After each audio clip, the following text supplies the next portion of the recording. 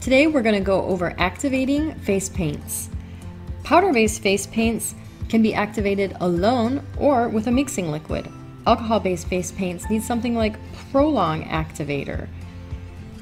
Water-based liquids don't need anything, just squirt them out and you're ready to go. Body Color Cosmetics need a silicone-based activator to get them flowing. Water-based face paints, which I use the most, just need water. Simply dip your sponge into the water, wring it out so that there's no water dripping out, and then you're going to take your moist sponge and gently rub it with circular motions on the cake. Now you're ready to pat your sponge gently over the skin, just where you want your paint, and oh, look how beautiful and opaque that is. Thanks for watching. Have a great day.